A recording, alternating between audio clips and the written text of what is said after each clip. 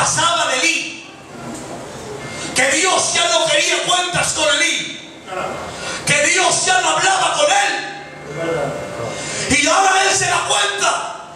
Pero no le juega una, una pasada. Porque era muy fácil decirle, oye, ven, traigo una manta que tengo frío. O traigo un vaso de agua. He sido yo que te he llamado y querer desviar al niño. No, fue legal. Le dijo, Dios cuenta contigo. Te dejo el camino libre. Tengo que hay gente que no está siendo utilizada por Dios. Que son de estorbo. Que más de beneficio.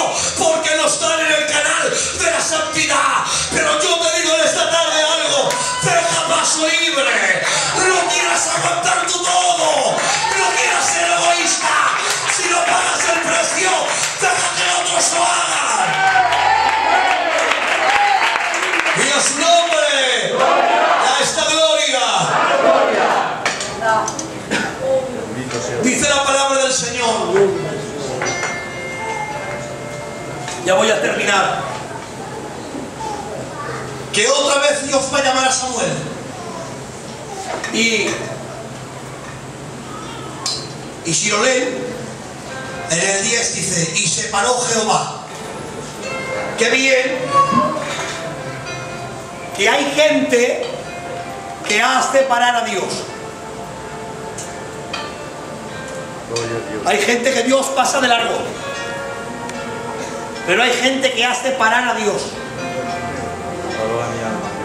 Les voy a poner un ejemplo así. A mi forma, ¿eh? Una parada, una mujer. Una parada de 2.000 euros. 2.000 euros. Lleva tejanos vaqueros. Los compra 6 y los vende a 12. La gitana, no digo una silla, no, bueno, me sentaré aquí. Me sentaré aquí, ¿eh? Con vuestro permiso.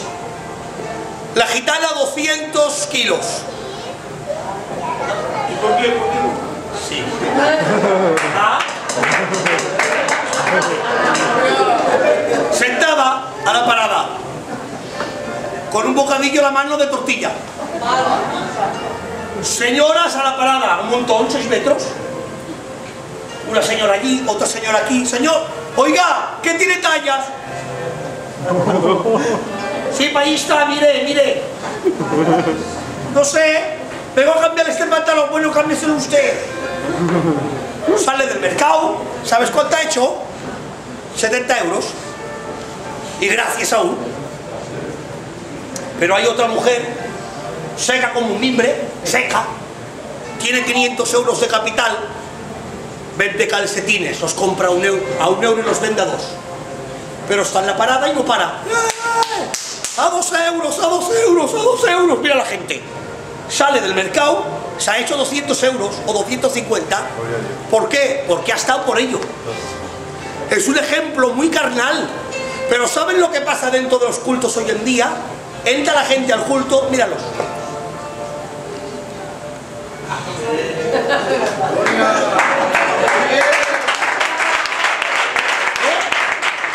Es que el pastor, es que el coro, pues trabájate dentro del culto, que Dios te bendiga. Hay otros que vienen al culto, cierran tus ojos y le dicen, Padre, bendíceme, renuévame.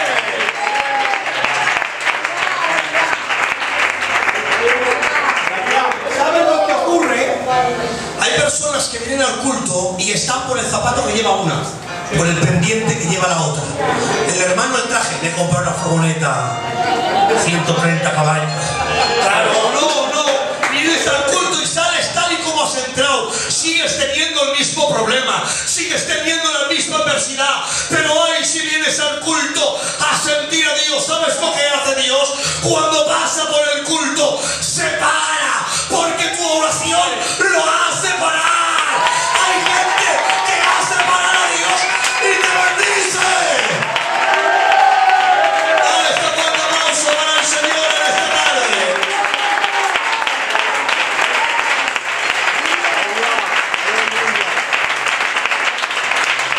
su nombre, a esta gloria, Dios está aquí. Pero miren, ya voy y termino. Dice la palabra del Señor que Dios habla con Samuel y le explica todo. Ustedes conocen la historia, le explica todo. Voy a hacer una cosa en Israel que le van, el que lo oiga va a quedar muerto, para que me entiendan. Voy a hacer, ya verás. Y le dice, Señor, ¿qué vas a hacer? Voy a juzgar. Atención a esto, ¿eh? Es fuerte. Voy a juzgar la casa de Eli. Es que tengo que decirte que a Dios no se le pasa ni una. A mí sí, pero a él no. Siento decir algo. ¿Tengo permiso? Tengo permiso de los obreros en esta tarde y de los ancianos. Siento decir algo. No te tomes el pacto indebidamente. ¡No! Que no es cualquier cosa tomarte el pacto indebidamente, estando pecando y viniendo aquí a mesa a tomar el sacrificio de Cristo.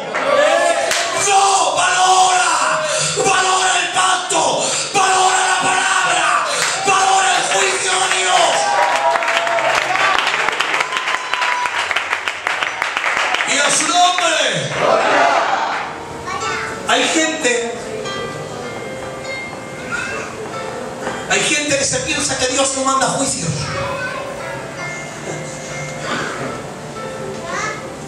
Es que tenemos un Dios de mucha misericordia. Yo digo, sí. Dios te perdona, verdad. Dios te da oportunidades, verdad. Pero hay cuando Dios tire de la manta que afrenta, ¿eh?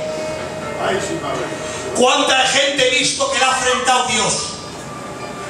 Que le ha avisado una vez a través de una palabra, cambia, de una profecía, cambia, de un sueño, de un hermano, de una hermana, y ha seguido con la suya, no ha querido cambiar. Ha seguido con el pecado, ha seguido con su forma. Dios ha tirado de la manta, se ha descubierto y ha quedado afrentado. ¿Por qué? Porque Dios antes de que te afrente te avisa. Por eso a Elí lo avisó Dios. A Elí se lo dijo 40 veces, ordena tu casa, mira a tus hijos, mira a tu familia, mira a tu compañera, ordena tu casa.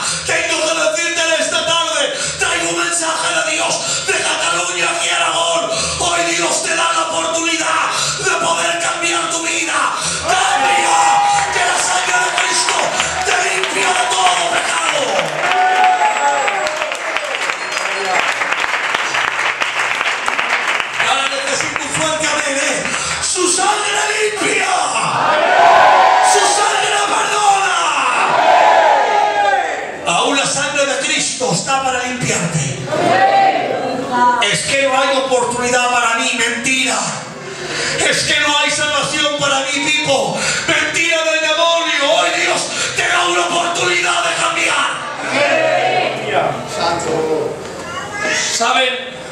Hay un texto bíblico que dice, la sangre de Cristo nos limpia de todo pecado.